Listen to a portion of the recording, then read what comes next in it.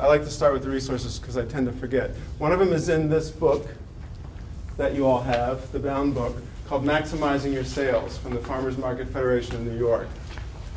This remains, in my opinion, the best single resource for um, vendors to look at. And, and a lot, if you, after the workshop, you go back and read it, you're going to see a lot of things that were mentioned in the workshop are mentioned in this article. It's, I think it's very useful, very helpful. The second resource is to visit other markets and take notes. Because everything you're going to see in this workshop came from you, came from vendors, came from markets. There's almost nothing new out there. It's all out there waiting for you to find it. So whether you're working on a display or how to market your, your how to talk to customers, all that can, there, there are tons of successful vendors, some of you included, maybe all of you included, who are out there selling what they brought to market and doing it successfully. I captured some of that to share with you today. You can go out and capture it yourself. Um, take notes, find the things that appeal to your product and what you're trying to sell, because that's where the answers are, are out in the markets. I, I don't know, I, I, I always put this in and I don't know why. I guess it just makes me feel good. Um, when you're talking about sales, it's a slippery slope of trying to, you know, sales can be manipulative, sales can be, you know, trying to suggest people to, to buy things they don't want. Um, and that's not what a farmer's market is about, and it's not about what you're about or what this presentation is about. So we're looking for um, matching customers up with a product that they want, need, desire, that appeals to them. It's not about tricking anybody or any sales pitching or anything like that. So you won't see any of that or hear any of that today, or not too much. How many experienced vendors do we have? I know we just asked how many vendors we have. How many experienced vendors do we have in the room? Please raise your hands. Three. Okay, so these are the people you want to talk to. Okay. Three experienced vendors in the room. What do you want to sell or what do you sell? Just tell what? What is it? Say something. What do you eggs? I'm making a list of what y'all want to sell or are selling. What else? Jams and herbs. Jams and herbs? Vegetables, cut flowers. I got the cut flowers. Did you say? Vegetables. Okay. I'm going to put produce. Anything else? Breads. Sorry? I've got breads. Breads. I'm going to say baked goods. More? Fruit. Ooh. Fruit. Strawberries. Ooh, fruit. Blackberries and blueberries. Fruit is fun. Salves and candles.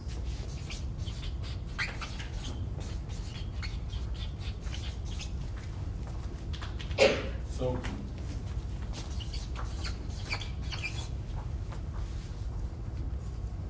Okay. Through the course of this workshop, the next 90 minutes or so, I need, I need to be helpful to each one of you in helping you sell these products. Sometimes in these kind of presentations for a farmer's market, you can get overly emphasized in produce. There'll be a lot of produce pictures. But we want to, if I'm not helping you sell these things as we talk, and as these slides go by, you need to remind me what is up here and say, well, what about my jams? Because you're not telling me about jams. Who, who said soap? Remind, there's a story about soap that happened the last time I did this. I have to tell you. Okay, so remind me more at some point about soap. Okay. And the last one is just sort of a question to, to lead us into the are you a salesperson? There's two things I want to say about this. One is as a vendor at a market, you are part of the sales experience. You are part of the display. Okay, this, this young man's part of the display there. Um, the second thing I want to say about this is at the end of the workshop, and as you become more experienced, some of you may already be, you'll, you can come back to the slide and start to see what's wrong with it. I mean, that's not the right thing. What could be better? Okay, not what's wrong with it, because I don't think there's anything really wrong with it. But there are some things that we're going to be talking about as we go through the presentation that when we, if we came back to this slide, you say, ah, wait a minute, should be this, needs that, could be like this, and it'd be better. Um, and finally, I want to say, would you buy produce from that person? I would. Now, he's not standing at market all day like that. you know, obviously he's posing for the picture. But um, friendly and authentic is part of the fabric of, I believe, and I think most people agree, of farmers markets. So that's what we're looking for um, in our salespeople, that they be friendly and authentic. So the goal, there can be many goals for markets. There can be goals that vendors have beyond this one. But the goal of this workshop is for you to sell more. It's not, again, it's not about community. It's not about um, getting closer to your food and food access. This, there are many other things that farmers markets have value in terms of why, why they exist and, and the value that they contribute to the community. Today, we're only talking about selling more. And there's three ways to sell more. These are the three ways. The obvious way, and the way that folks tend to get preoccupied on, is to attract more customers. Now, typically, I'm a market manager. I, market, I manage the Asheville City Market. It's my job to worry about attracting more customers. But that's only one of the ways, and, and, it, and sometimes it's not the most important way to sell more. Um, go ahead next. So attracting more customers. Um, there are things that markets do, there are things that vendors can do. But actually, it's typically more of a general market activity to do marketing, which is the next workshop, to attract more customers. It's the next two things that you deal with most. Increasing the frequency of visits. So, if this is if this is one dollar being spent by this person, and they come once a month, that's your income. Now they're coming four times a month. Now you make four dollars. So if you multi- if you take your existing customers and can have them move, these are the two extremes, but from once a month to every week, how much are you increasing your sales? You're increasing them dramatically. And this most um, I shouldn't keep saying most vendors think this. I believe it is common to believe that you don't have you don't have any control over that, but you do. We're going to talk about some ways that you can get a customer standing in front of you who's handing you some money to come back next week, and come back next week, and come back next week, next. See, that was a very subtle transition. The other way that you can affect um, sales and your income is to take each customer and increase the amount they spend every time they stop. So if you go from $10 to, and by the way, these photos are, are proportionally that increase from 10 to 15, just for dramatic effect. Um, just think in your head how much you sell in a week in a mar- at a market. I'm going to just say $500. Um, if, that, if you can turn that, if you can double or, or half again that much, you've now dramatically increased your sales just with the customers who are coming, who are coming to your booth, coming to your space. Um, I always have to stop and think. 80% of your sales come from 20% of your customers. Have you heard that? That's like a sales thing that, that's supposed to be true. Um, so you can make it more dramatic um, by taking control of this situation and encouraging your customers, not by pressuring them, not by selling them something they don't want, but there, there are ways that, you, and we're going to talk about them a little bit, where you can help your customers um, find more that they want to purchase from you at your booth. Presentation, information, and invitation. These are the three ingredients of selling more, according to my workshop. um, so let's go, go ahead. Presentation, color by design. So, color is appealing. Agreed? I mean, to most people, flowers and other nice, colorful things are a draw. They appeal. They're attractive. They're interesting. Um, and they're an ingredient in selling more. Not, now, you can walk through a farmer's market where no one has been paying any attention to color, none of the vendors, and it's very colorful. But you as a vendor can turn it up a little bit by doing color by design, and that's what, that's what these images represent. Um, these are actually not too different. It's hard for you to see the color. Can you see it? It's like it's, like it's, it's been matched. I love that. These, this is one display, and it's been it's not just been set this way by color. It's also by angle and look It's just aesthetically pleasing to me. Um, orange carrots on a green checkered background. Um, it's not accident. You know, some of this just happens. If you put, if, I mean, you can have a you can have a basket of white and you can have a basket of purple, but if you put them together, all of a sudden it becomes even more attractive. So again, keep in mind that you need to be, you know, translating this into your own world, your own product base, so that it makes sense for you, and asking me questions about, you know, well, wait a minute, what are you saying there? Because I'm, what am I going to do to mix up the color of my baked goods? You know, that kind of thing. Um, last thing on this, so this arts and crafts vendor here, the colors that are draped behind those pieces of craft, that's not accidental. You know, they intentionally created a visual effect like a, like a, um, a painting, perhaps, to draw folks in. Sometimes you can't put your product out there. It's in the cooler, uh, various, that's one of the biggest reasons. Um, so you have to have stand-ins. St- now that we're, we're in presentation, we talked a little about color. Now I'm talking about stand-ins. So um, this vendor now has pork. What did they have before they had pork? No sign. What do they have? Chicken. Chicken, or and maybe eggs. Um, this is obviously a, a visual display um, that is more than the stand-in, it is the product. These are pastas. Now, of course, all that product product's being thrown away at the end of the day. But if you ever walk by the booth where this is being sold, it's a very effective stand-in, I mean, or representation of what's being sold. And sometimes with things like this, there's a certain product, you, you know there's a certain amount of product that gets sacrificed for the sake of sharing with folks as they go by. Signs like this, um, these tall chalkboard signs, I see more and more of those, with or without a dog. So um, stand-ins, things that you have to do. So I mean, let's see, what do we got? Let's, meats, you'd have to have a stand-in for meats. Mm, Baked goods can be, who has baked goods? Yours are out there, yeah. Eggs can be out there, so there's not a lot of, not a lot of you having a trouble, not a lot of those products suggest that, the, that you need stand-ins, but you can even do things that are helpful, like uh, for the meats, photo albums, pictures posted of the animals back at the farm, whether the chickens, cows, whatever, or steer, or goats, whatever they are. Again, stand-ins. Okay. It may be that um, the most significant, impactful aspect of presentation is abundance at a farmer's market. Um,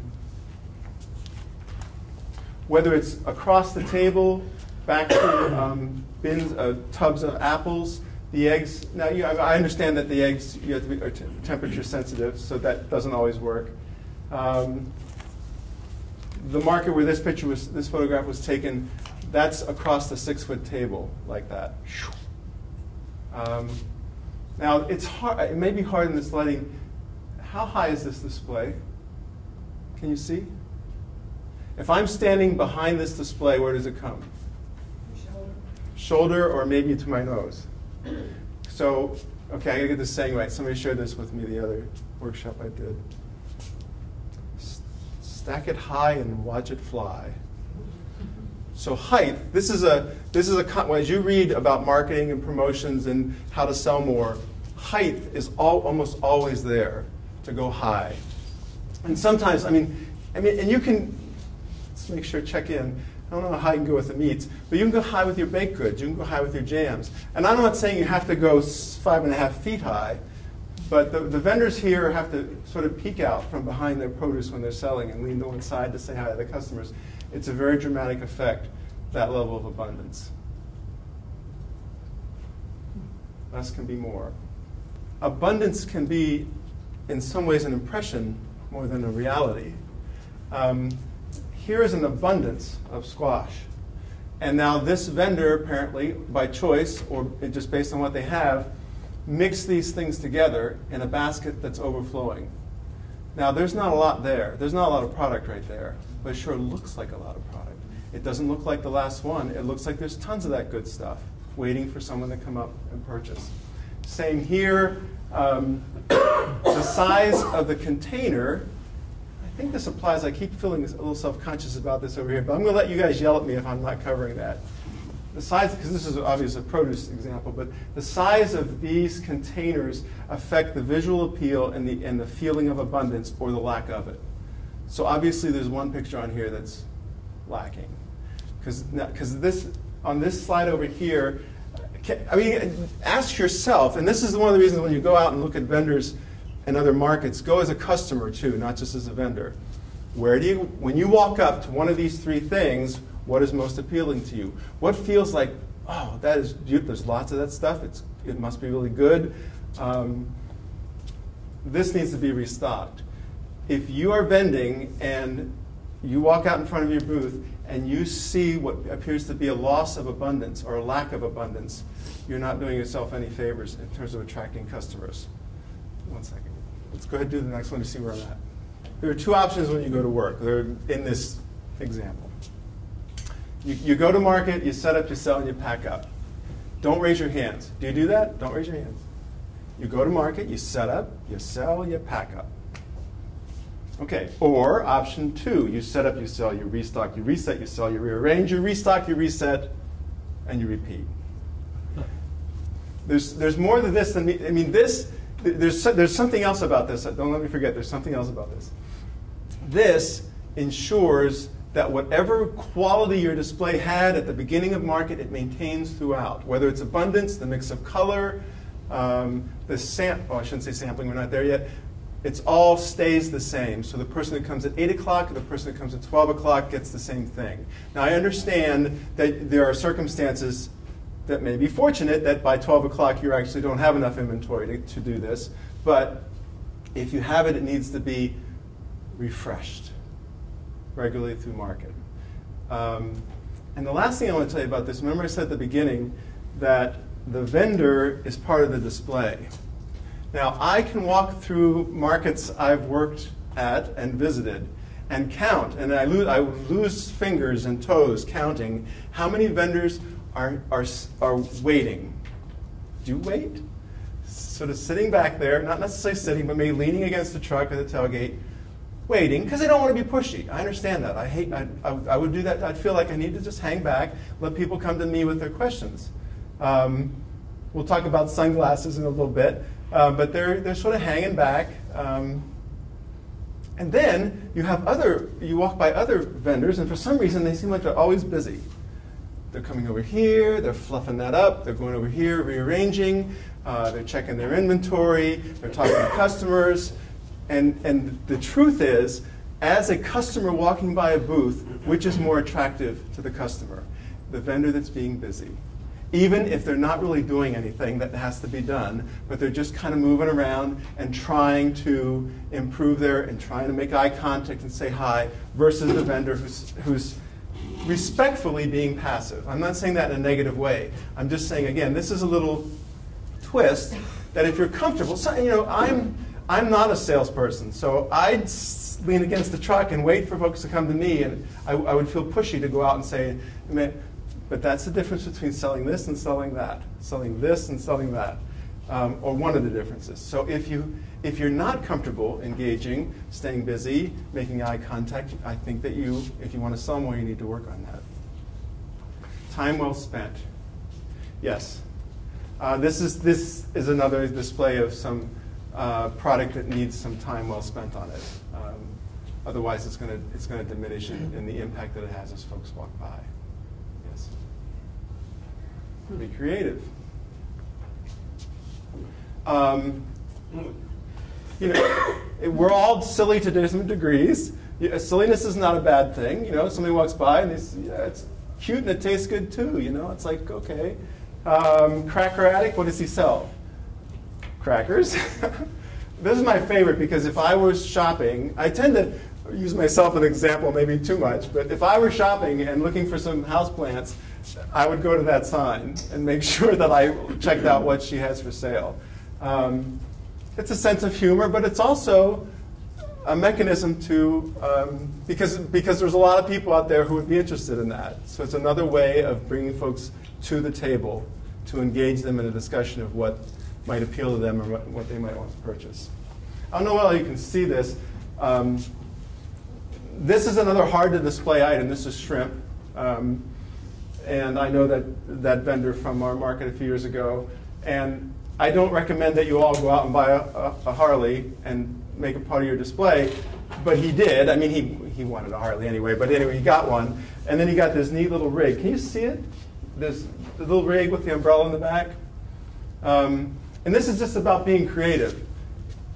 He had a typical booth for two years tent, table, can't display the shrimp because it's frozen. I got shrimp, come on up. You know, he did okay. How did he do when he did this? He did better. His sales significantly increased when he did this. Again, it, it, it, wasn't, it wasn't the product, it wasn't him, it was the presentation. Be creative. There's, and, and the creativity is already out there. So if you're not if you don't feel particularly creative or you feel in a rut or you feel stuck with your product because you've lived with it, worked with it, grew it, baked it, prepared it for years and years and years, and you feel that you're just stuck being creative, slide number one, go out to markets and, and look around because the creativity is out there. There are tons of, of cool ideas out there um, in addition to motorcycles. Presentation, information, what's Invitation. All right. Information. I mean, perhaps the most obvious part of information is sign, are signs. Um, this particular vendor's signs are almost as, as appealing as the product. She's put a lot of effort into labeling all of her plants. It may be difficult to see, but these, are, these labels are in different colors. They offer information beyond just the basic or the minimum, which is required. What's the minimum required on any sign? Name and price. Yes, thank you. Name and price. But she's got some extra stuff in here. Um, so this inf more information, sign and label information, is, is good.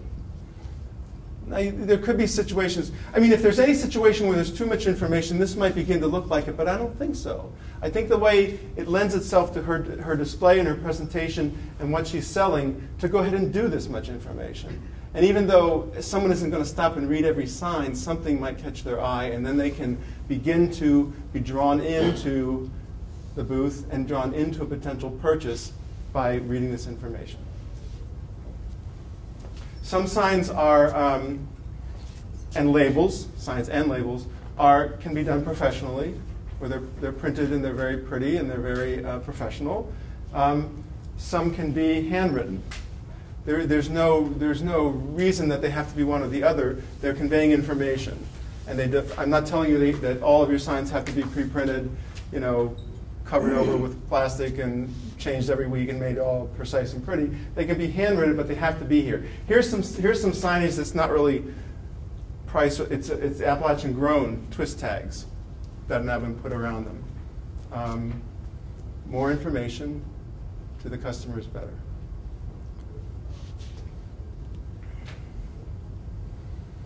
Again, this is a good example of the tall sign. Um, this is the pasta vendor, and um, she has on either side of her booth. You know, the pasta, the pasta's on display that you saw earlier is on display on this table, but right now you can't see it. So if you're a shopper walking by, you won't, you won't be able to be attracted to those examples of pasta that are sitting on the, on the dish in the center.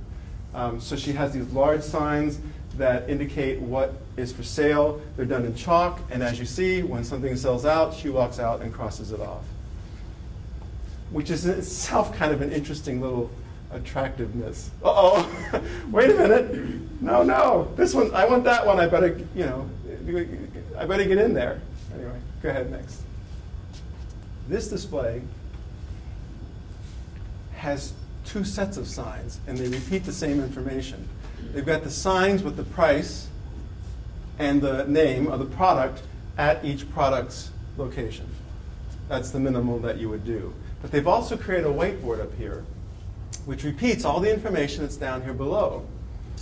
And again, this could apply to anything where you, when someone moves into your booth, they're starting to block the information now from the customers passing by or stopping to take a look. Now, this booth can be and is full of people. As many times this booth gets full of people. And no one can really even see necessarily what's at the front, at, the in, most inner part of the, of the display, uh, what the labels say, but now they can glance up and see. And they can also, just as in the previous slide, start to cross things off as they sell out. It's a small thing, but it's, it's, it's another little, because all of these suggestions that I'm sharing with you today that really came from your fellow vendors make incremental differences in your sales. If there was a magic one that doubled your sales like that, you'd all already know about it. These are all these little incremental changes that you make. So the fact that, is it a big deal? Does everybody need to have two sets of signs? No, but it's, it's a little bit of an edge now to have additional information displayed where even the people walking by when the booth is full of customers can see what you have, see what the price is, see what's sold out, what's still available. Go ahead. More information is better. Oh, this was the one I was looking for. What is this? What's that? I tease Hominy Valley about her artistic what is this an image of? Yeah, yeah, it is. It's a cow or a steer. Um, so here you have Hominy Valley Farms indicating some what may be important to customers, characteristics of their meat. This is on a display board at the front of their booth, along with some other information about the farm. This one, this is wild salmon. Um, there are a whole lot of people, me included, who'll stop and look at that map. Just because it's a map. I mean, I just like to look at maps and go, wait, that's Alaska. Where, where are we here? Um, and this gentleman and, the, and his, and, um, his co-vendor, who both fish and catch the salmon, will talk to you about where they fish, get into a discussion with you about salmon here, salmon there, what's happening up in Alaska this season, um, what the situation is. So this is like um, this is like like gold. I mean, it's a, it's a display that just attracts people's attention, is a conversation starter. You're not tricking anybody, you're just engaging them, offering them something to bring them in and, and, and see what, if what you have appeals to them and they're interested in making a purchase. This is an arts and crafts vendor. What are they selling? socks. Yeah, socks. We're going to see her a little bit later. Um, so what is the purpose of? I mean, there's no, there is no, this is just eye appeal. This is just fun. This is just stuff I've got that sort of relates to what I do, to my craft, uh, sock monkeys, yarn, just sort of a fun arrangement of stuff. But as somebody walks by, you see the sock monkey, you see somebody walk, you take a glance. Again, it's in some way, I guess maybe this doesn't, this is maybe more of a visual sampling thing. We'll get to that in a minute.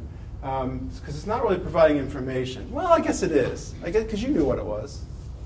Yarn or socks. Can you read this one? Fresh young ginger. I can't read it. Th thin skin, tender, fleshy. Refrigerate wrapped in paper towel. Freeze and use frozen as needed.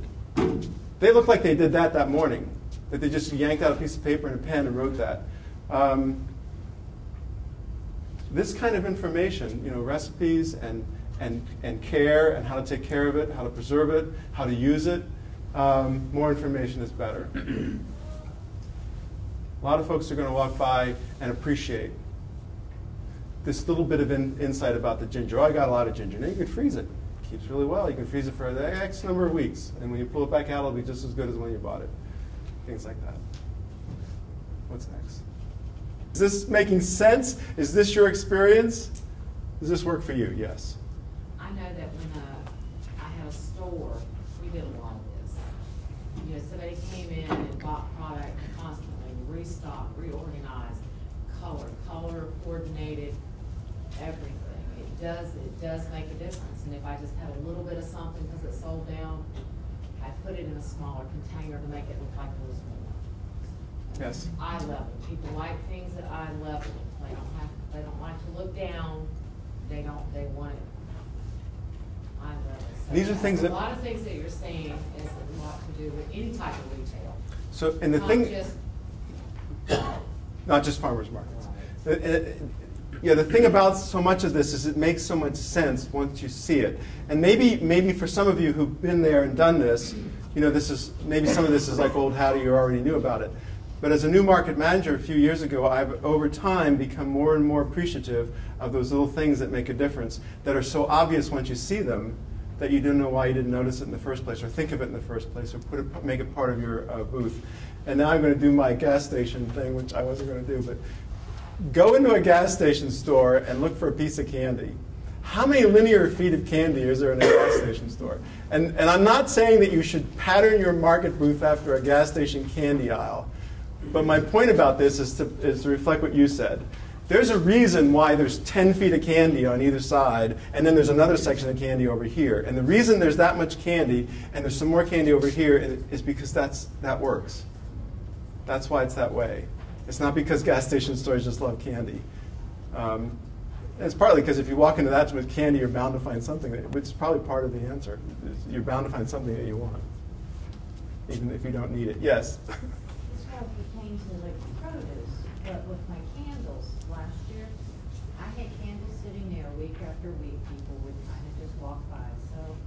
I had these cute little drawstring bags. They were Mm. different colors and they had gold designs on them. So I threw them all in the gold design bags one week, put them up there, and all of a sudden, everybody's there wanting the candles, and all we did was. Put 'em in a bag. Little bag. Yep. so that, that before we go on to the, the last section um, in terms of invitation, that is a really helpful reminder of something else that came up about soaps that I want to tell you. Um, so I want to retreat a little bit to the abundance is great. So the last time I did this workshop, there was a soap vendor, and he, and he said, look, I put 10 soaps out there.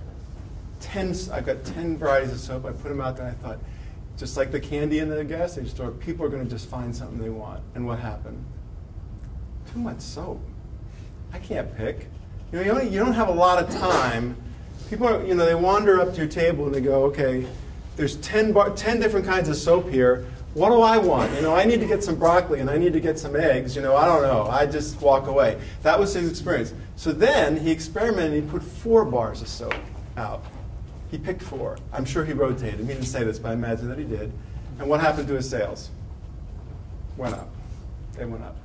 So the, the message there is this, because there, that's, that is a complete contradiction of the suggestion I made earlier that abundance rules, that abundance is the most important thing. I sort of suggested that that may be true. Um, not for the soap vendor, not for that soap vendor. So everybody stop thinking about anything I said and anything I'm going to say and think about this. You have to experiment with your product. Okay? Because your market, your customers, your product may not follow these rules, these suggestions. It may actually, if that guy was putting out four bars of soap and he came here and said, I should put out 10, his sales would have gone down. So you need to experiment. I mean, the experienced vendors in the room, and I'm not going to call you out, do you track your sales? Sure. Do you track what sells? Sure. Do you track, eh, do you track if you put it over here, put it over there, put it in the front of the booth, put it in the back of the booth, put it in a bag or leave it in a bulk? What sells better?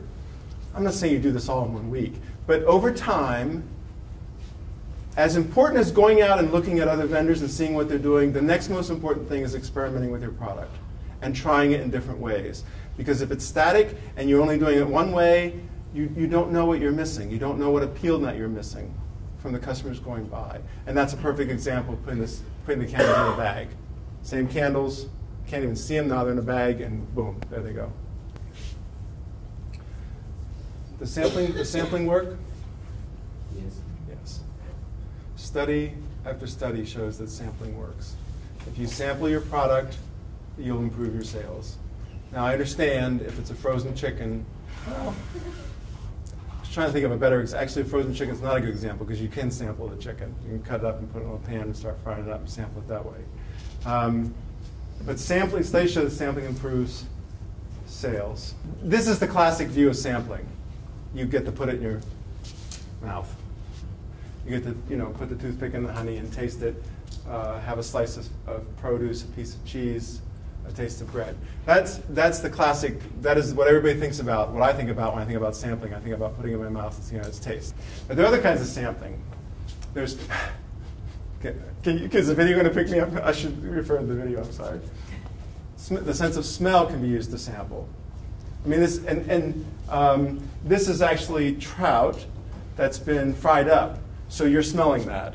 I mean, you, you get to taste it, but before you get to taste it, you get to go, what is that I smell?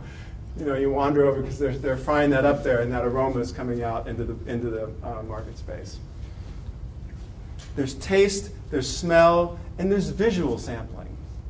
This is one of my favorite slides, a co- ear corn. It's, you're not tasting it, you're not smelling it, you're just seeing it. But you, everybody, uh, maybe it's just me, doesn't everybody come up and want to look at every one of them before they stick it in the, wait a minute, is this one got something I don't want? They peel it, peel it back to see if it's got all those nice kernels. So why not just, un- just I mean, this is, grocery stores do this. Unpeel, you know, peel it back and show people. And then they go, oh, look at that. I bet you they all look like that. Visual sampling. Well, I mean, they probably all do look like that. Um, so sampling is not simply tasting. You can use the senses. You can use any senses.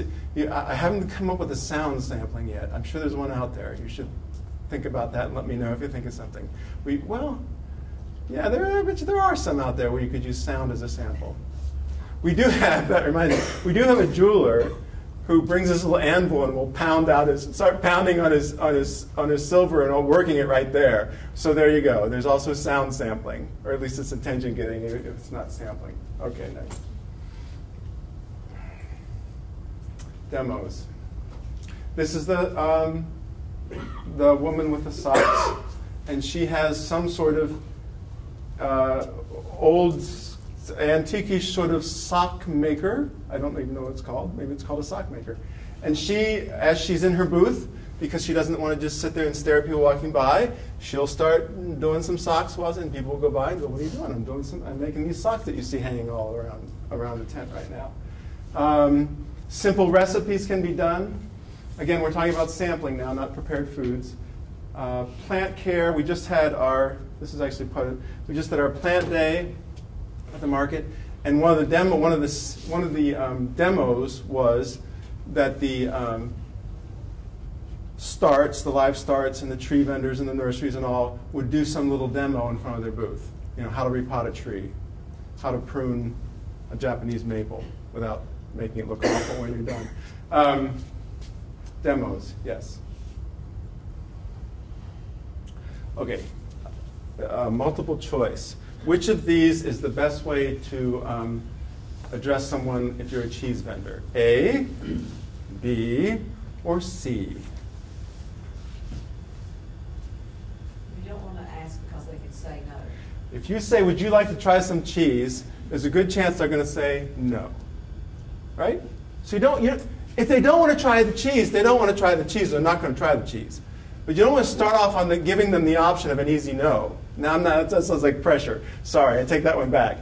You want to frame it in such a way where you keep the conversation, keep the interaction alive as long as you can, hoping that that person actually would like to taste your cheese and would be interested in purchasing them. Have you tasted our cheese? Eh, yes, no. Those aren't good. It's the last one. I credit Three Graces Farm for this. Every day, every market, have some cheese. It's just you're walking by, have some cheese. Now that's that's an invitation that doesn't require an answer. I mean, they're going to if they don't want the cheese, they're going to walk away. But the third approach, the sales, what I, am referring to as sales speech, have some cheese, has the likeliest chance of actually getting someone to come over and taste the cheese who's borderline. Those that don't want to will walk on. Those who are going to taste it anyway, good for you. But this is the one that will get the borderline people to actually pause and not be able to politely say, no, thank you, I just brushed my teeth, and walk away. Which is more common than you might think. Next one. Any, anything else? See, that's like, why wouldn't you say that? Of course you'd say that. I would say that. Can I get you anything else? Not the best answer. Not the best way to end up. To, you're doing a transaction. They're buying a candle. They're buying some bread. They're buying some produce. They're buying some meat. Can I get you anything else? You probably hear that more than anything else out in the world because it makes sense. It's polite. Why wouldn't you say it? What else can I help you with? Now begins to cheat that interaction a little bit towards because maybe you want to buy something else. Maybe you want to go from a $10 a purchase customer to a $15 purchase customer. Remember going back there how we're trying to increase sales? This is one of the ways that you can engage folks to move them from I spend $10 with you every week to I spend 15 or 20 or 25 with you every week. What else can I help you with? Have you noticed? Look over here, this ginger we just got. I have a new scent of candle. I'm trying a new baked, a new bread. This is my new bread. Would you like to sample it? What else can I help you with? Followed immediately by, here's what, here's what you might be interested in. There's Old Turtle Farm does this. She, Eileen does it with every customer. And um, go to the Asheville City Market or wherever Old Turtle is and watch what happens. I know I haven't done a, a special survey on this or account, but I guarantee you that this response that she gives, this engagement that she does with her customers, leads to additional sales. Because now she's pointing out stuff. And, and the nice thing is, is as you start to know your customers a little bit, you can start to, you know, if you can, I don't know that I could do this, but sort of file away a little bit. Oh, that's right. I remember that this person really likes this. Did you see we just had this? There's only a few left. It's right over here. Maybe you didn't notice. Um, it's not, I said, take, you know, it's not pressure. It's not, it, it's service. It's a service that has a, pay, a payoff for you as well and, and for the customer because they will just, if they buy something, that means that it did appeal to them. It was something that they were interested in. They just weren't paying attention. So you're really, you're really just directing attention to places where to items or other options that can increase your sales from here to there on one customer. I mean, obviously, any of these is begin, a good gr greeting, but one of them has to be there. I, if you want to keep that customer from going, you're too busy, I'm going down the aisle now. I'll be right with you. You know, you're, you're doing a transaction, you're talking to somebody, say, I'll be right with you. Oh, a second. You have to say something. Hello, whatever you want to say. What's the best? The best, if your memory is better than mine, is to say hi. Hi, Jess. Nice to see you today. Um, there's, I mean, this, this relates also to the fabric of farmers markets and the sense of community, connectedness to your local foods, your local products, your local producers, the fact that one of the attractions of farmers markets, as I'm sure you all know, is that face to face, your hand, you know, I collected these eggs that you're buying with this hand, you know, this morning or yesterday. Um, that's part of the appeal. So the more connected that you can become to your customers, um, the more that spirit will spill over into. Um, this sounds very mercenary, more sales, but that's what we're talking about. Next. Um, thank you. Politeness is good. Thank you. See you next week. That's sort of expressing a hope. Thank you. I'll see you next week. Um, but thank you. I'll see you next week. And, and next week, this is what I'm going to have.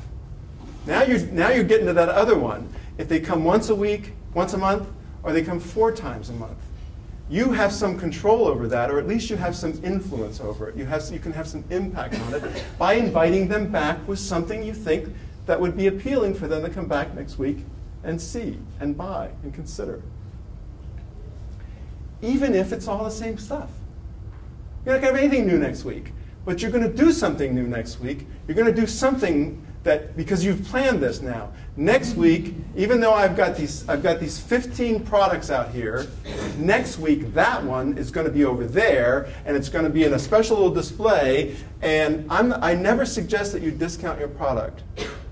Okay, and I could go off on another topic there, but but you could do something with the you could uh, buy three get you know you could do some little thing with it. Uh, very much discourage you from discounting your product unless by unless when you discount it you improve your sales, and I mean your body your net, not just the thing going out the door. And there I'm digressing now, but there's this came up in the last workshop. We had a long conversation about whether something at seven seven dollars a pound and then you break it into quarter pounds and sell it for $2, did that add up right? Because now it's $8 a pound, right? That, that the experience the person had, would people would go, I'm not paying $7 a pound for that. but I'll pay two dollars a pound for a quarter pound. So all I'm saying is, what am I saying? Even if, even if during the course of the weeks you're not necessarily having something new that you can say. Now, if you are having something new, and I'm running a, a new jam, uh, produce is kind of, you know, you'll over the course of a season you'll have new things come in for produce. So that's, but again, repackage, re- refocus, refeature, so that do that every week, so that you can say, and um, by the way, next week I'm going to have a special on this. Again, a special doesn't mean that you're discounting the price. A special just means that you're, you're calling it special and you're giving it some special treatment, and you want them to know that they should pay attention to that and come back next week to see it. What's next? Unspoken impacts. Next, go ahead, next. For, ex- for example, um, if we go back to, in your mind to the first slide of the, of the young man with his arms embracing his product and welcoming him into his booth with a big smile, um, I challenge you to go around markets and find how many of these you can count. A vendor who's standing sort of to the back of their market with their arms folded, a classic, you know, or sunglasses on, okay, a classic sort of barrier builder. Um, or, or at least, maybe that's too strong. That's too strong. It's not as appealing. It's not as approachable to come up to a vendor who is, you know, hanging back. I, I cut the person's head off because it's a vendor I know, and I don't want them in this PowerPoint meeting using this kind of example. Make eye contact. Is this this is so uh, basic? I, but make eye contact. Listen and acknowledge your customer's smile. Stay active and engaged. Things I've already commented on. Um, but whether or not I'm not a psychologist, I don't know what body language is good body language and what body, you know, other than just my personal feeling about it. But there are ways of being, ways of acting, ways of standing, ways of looking. If 60% of communication is by nonverbal cues, then there are cues that make you approachable, the cues that make you someone that someone would like to feel comfortable talking to, and there are cues that says, stay away from me, I'm grouchy, stay away from me, I don't really want to talk to you, I just want you to buy my stuff, and other kinds of cues. So, uh, so I don't know how helpful this is because, I, like I said, I don't have the list of here, stand like this, look like this, do that. I mean, some of this is common sense, I think. Um, looking stern versus looking pleasant are obvious. Um, but again, as I said earlier, the vendor is part of the display. They're not just. Whenever I walk, whenever I walk up, maybe I'm using myself too much, but whenever I walk up to a booth, I look at the vendor first, and then I look at the product. I want to see who I'm going to be dealing with first, and then maybe that's just me, but I bet you that's fairly common that people do pay attention to who's behind the booth and how they're going to how that makes them feel before they walk up, because there's a lot of options out there. This isn't the only place that has tomatoes. This is the only place that has, well, maybe it is the only place that has bread. I don't know at your market, but there, there are other places they can go. And, and I've seen this hap- I've seen this happen. I've actually heard it happen, where people will turn away and go somewhere else, not because of the product, but because of the vendor. Go ahead. Buy more options. This is kind of this is kind of that in a bag effect with the except now it's not candles. Um, not every, you, this doesn't, well, I was going to say this doesn't apply to everyone, but maybe you could tweak it and figure out how it applies. Options on how to buy. Um, there, there's a whole box. Buy a whole box of sweet potatoes, $30. And I bet you there's, I mean, there has to be sweet potatoes on sale by the pound. There might be even some prepackaged sweet potatoes by the bag. Um, I like this one. Fill your, this empty box. Pick the chocolate and fill it out. Fill it up. You, you know, just buy one, buy six. And here's your box. Here, and, and it's again, I have a feeling that this is this is cheaper than buying them each individually, but I bet you this is not discounted to the point where the, the vendor's now losing profit on that. They're still doing okay, even though they've reduced the price to increase the, the, the numbers of um, pieces that are going in the box. In the, you know, we had two vendors. We have two vendors, but early on we had one Apple vendor. And the way the Apple vendor sold apples was, um, which one do you want, and how much, how much, how many pounds do you want? So I'd like some of these over here. The vendor would pull it, weigh it, put it in the bag, and, and give it to the person. And that remained unchanged until the second Apple vendor came.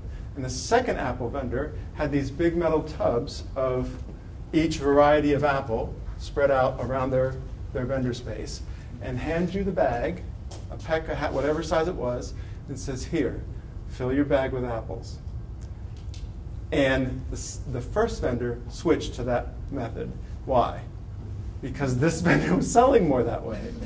Um, and, not, and, and the thing that tickles me about this is I've seen this happen over and over again. Say this apple's not in the bag, the vendor will go, No, there's more room in there. Put that other apple in there. And now they're getting a gift. It's like the, the, the customer's just feeling like warm all over because you're giving me, you're making, you know, they're not, they're not trying to keep the, you know, just to the very top. No, put another apple in there. Um, and this, this also leads, this option thing, I sort of suggested it with the sweet potatoes. The, you, you can't give options that would that keeps everybody happy. You can't give like 10 choices because you've got 10 people who say, I want it this way, I want it this way. But you can spread it out a little bit.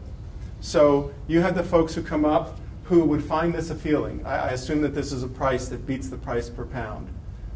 Um, you, you will also have, now this may not be true at your markets, it's true at the Asheville City market. You'll have customers who come up who don't even know what a pound of something looks like. They go, I got a pound of beans. I don't make a pound of beans. I'm one of them. Okay, I'm a farmer's market man. You think I'd know better. What's a pound, whatever it is. There's a pound of these, I don't know how much is a pound. It's $7 a pound, but I don't know what a pound looks like. Oh, here's these little containers. Like, oh, I can take that home. That's enough for me. Me and my wife, we can have that for a meal, a little left, whatever. Um, price isn't the only thing that determines how well something sells. Convenience is also very important. Um, so that's, some people want bulk. Maybe they have a big family. They're trying. They're on a budget. They're trying to buy something at the at the most affordable price that they can. Some people, um, not that they don't care about money or cost, but they're more drawn. The trade-off for them is I'd rather have the convenience of, of having you having packaged up. You, you know, their salad mix. As a, I, I just want to buy that. It's like okay, yeah. I can make a, I know exactly what that is. It's four dollars, and I know exactly how that's going to fit as I'm cutting it up on the cutting board to put in a salad. Um, so options. Um, toy with your product. Um, okay, I have to say this about soap. I, I just looked over here and I saw soap. Um, we have a soap vendor who cuts the bars of soap into little bitty bits as a sample and hands it out. It's just crazy how many people will take that soap. It's this little piece of soap, and you go, here, have a piece of soap, and say, oh, okay, and they put it in their pocket. It doesn't melt. It doesn't, you know, go bad. Anyway, that's a complete. That goes back to some slides a little bit before on sampling. Um, what I was trying to figure out when I was looking at this is if this applies to your, you know, it's hard to take. Uh, not. I was going to say it's hard to take a whole chicken and offer it in different ways, but then again, you do. I mean, you, there are cuts of meat and other things like that. Who, who am I not helping here? Everyone, isn't that nice? No. Okay. Next one. This is this is clever. How do you buy peppers? You open your hand with the palm facing down. You reach into the pepper bowl. You close your hand. You pull your hand out. This is your handful of peppers, and there's the price. now, there's, that's just a little goofy, okay? Um, but it's kind of, you know, I can see people going, you know, I. Uh, I got a big hand. Watch me get, I'm gonna get, some peppers here. I don't know. Obviously, obviously that wasn't the only way you could buy peppers at this booth, but it's fun.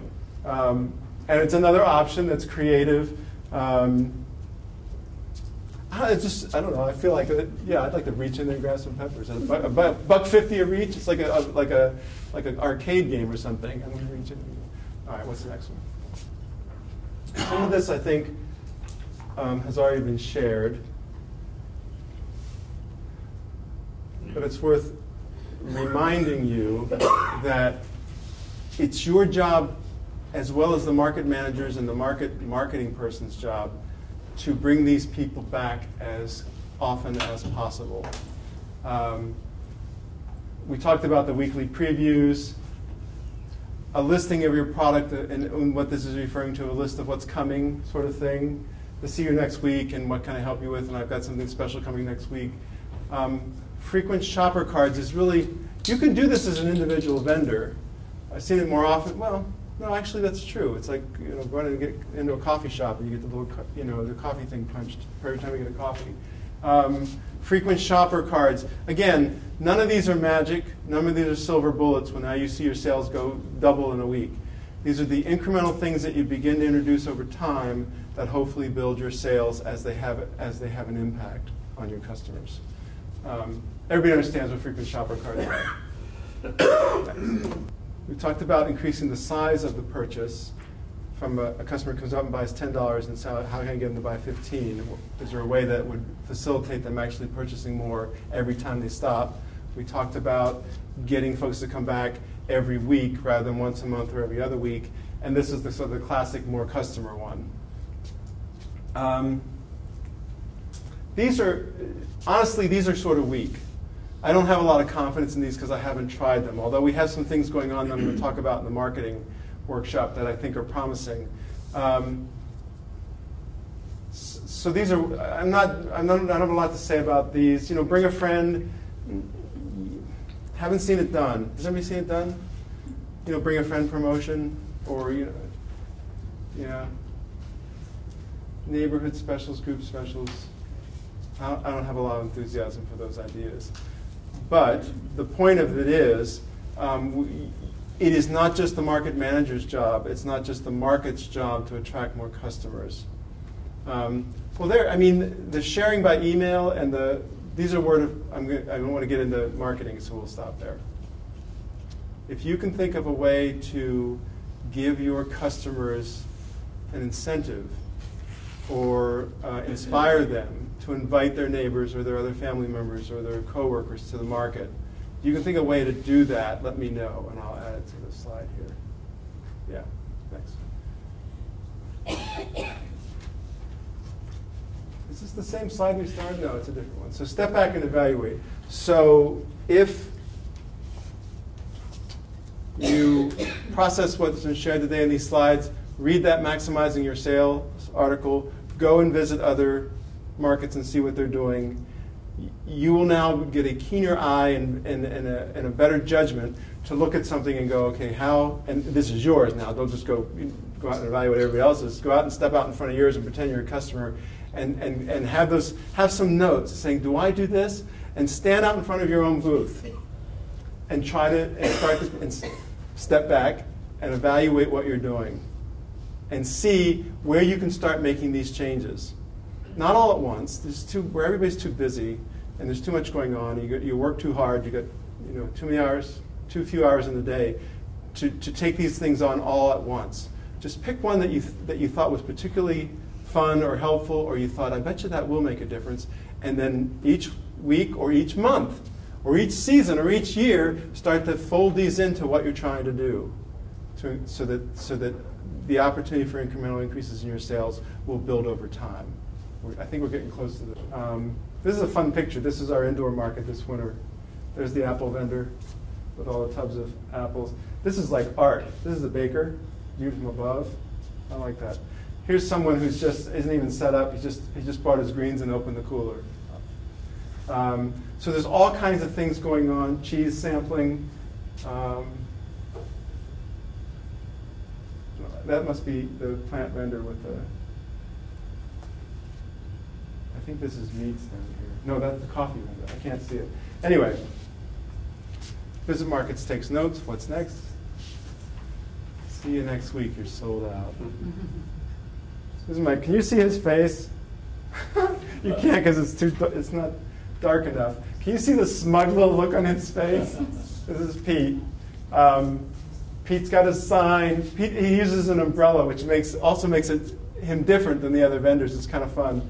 Um, he's got his little tubs sitting out with his produce and everything in it. Um, very, he's a very sweet person, very approachable, and more of everything next week. He's inviting you back because he's sold out. Made possible with funding from the North Carolina Community Transformation Grant Project and Centers for Disease Control and Prevention.